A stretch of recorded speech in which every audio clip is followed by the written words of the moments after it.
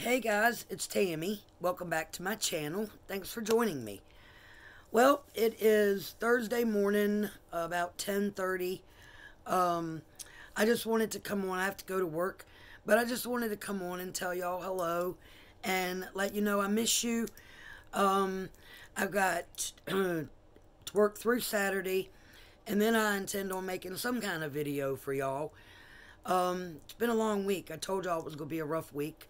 I'm working 11 in a row, and you know we're still kind of busy.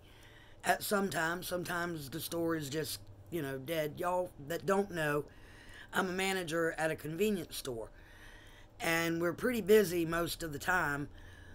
Um, but right now, it's you know we get our spurts, but we're trying to do everything proper. We clean constantly um, with bleach and we wipe down our gas pumps. We wipe down all surfaces. Um, I wear gloves when I take money.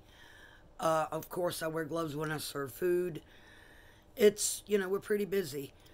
But um, I'm looking forward to Sunday, looking forward to a day off. My house looks like a hot mess. It's just ridiculous.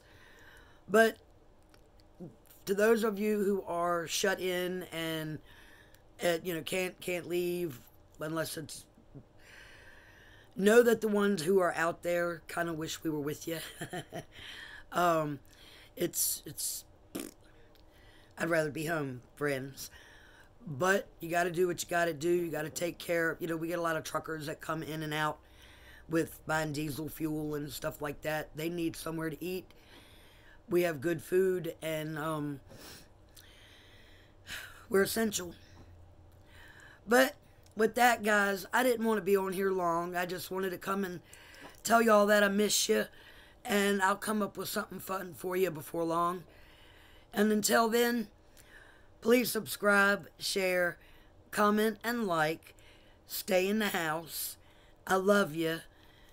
Peace and hope, guys. Peace and hope.